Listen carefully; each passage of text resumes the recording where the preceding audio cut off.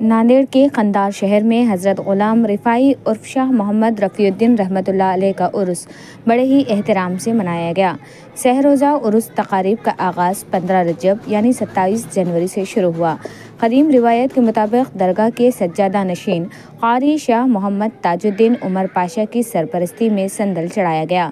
इस साल उर्स तकारीब बड़े ही धूमधाम से मनाई गई।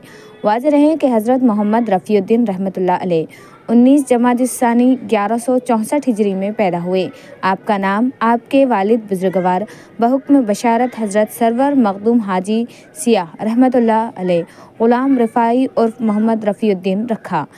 बचपन ही से चेहरे मुबारक पर बुजुर्गी के अलामत ज़ाहिर थी और नस्बत हाजी सियाह सरवर मखदूम से रही। इन्हीं के हुक्म से इल्म के हसूल के लिए औरंगाबाद पहुँचे। नौ बरस तक हज़रत कमरुद्दीन नक्शबंदी रहमत और दिगर उल्मा से इस्तेफ़ादा किया। मदीना मुनवरा में अपने क़्याम के दौरान मस्जिद नबी में दर से हदीस जारी फरमाई। वहाँ मौजूद लोगों ने आपसे हदीस पढ़कर सनत हदीस हासिल की। इसी सिलसिले में सनद रखने वाले मुहदस हज़रत अल्लामा यूसुफ नभानी अलैह, जो जाम अजहर में शेखुल हदीस के अहदे पर फायज रहे, वो भी आपसे सनद रखते हैं। इसी तरह जाम अजहर में आपकी सनद हदीस जारी हुई।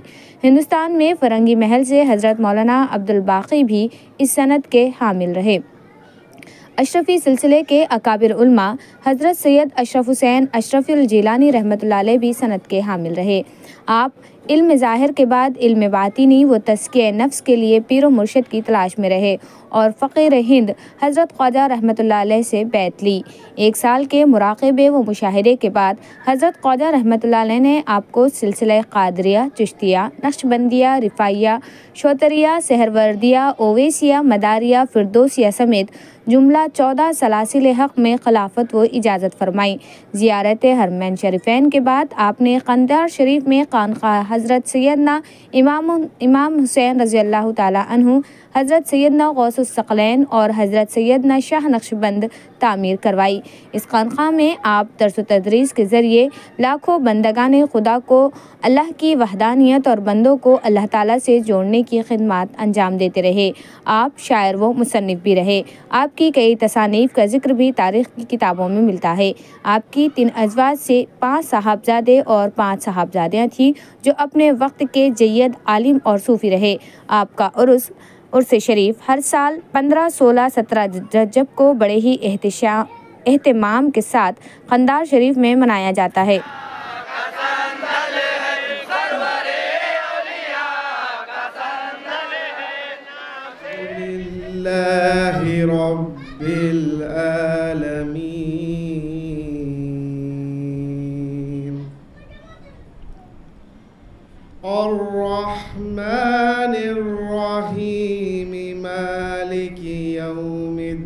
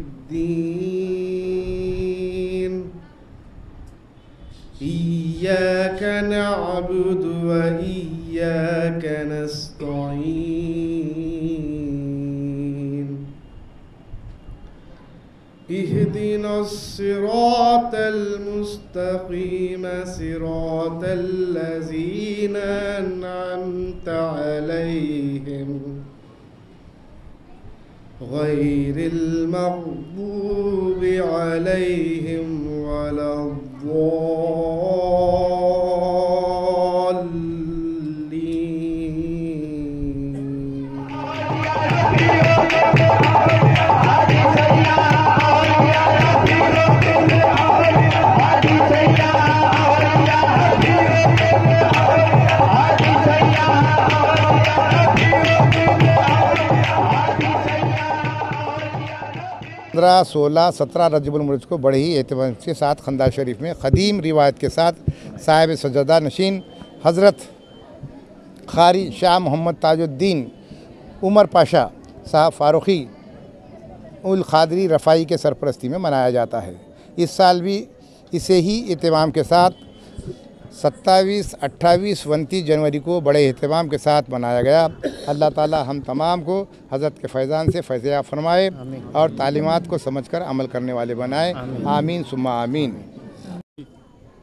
असलकुम आप तमाम अक़ीदतमंदान हज़रत रफ़ीउद्दीन खंदारी रहमत को सबसे पहले मैं खाजी विलायत अली एडवोकेट देगलूर मुबारकबाद देता हूँ उर्स मुबारक की। और इस आस्थाने पर, जहाँ पर दूर दराज अरब व अजम अपना सर झुकाते हैं, अपने अकीदत पेश करते हैं। ना सिर्फ़ महाराष्ट्र, बल्कि सारे हिंदुस्तान से अकीदतमंदान आज इस उर्स में जमा हुए हैं यहाँ पर। मैं भी हज़रत के ही सिलसिले से, हज़रत की जो है ना, एक दुख्तर की नस्बत से मैं जो है आता हूँ। मैं हर साल यहाँ पर तशरीफ़ लाता हूँ। यहाँ पर हमारे दरगाह शरीफ के खिदमत गुज़ार हमारे दरगाह शरीफ के सज्जादे ताजुद्दीन बाबा उमर पाशा साहब और हमारे यहाँ के जो बेलौस खिदमत करते हैं चाँद मोल साहब और उनके जो रफ़ा आला है मोलू मियाँ, ये लोग बड़ी अच्छी उनकी टीम है और वो लोग बहुसन खूबी इस उर्स के खिदमत अंजाम देते हैं। मैं उन तमाम का अपने तहदील से शुक्रिया अदा करता हूँ और खसूस महा ट्वेंटी सिक्स और एम सी एन चैनल का मेरी आवाज़ चैनल का मैं शुक्रगुजार हूँ और उनको भी आप, आप तमाम को उनकी तरफ़ से मैं मुबारकबाद देता हूँ। शुक्रिया अल्लाह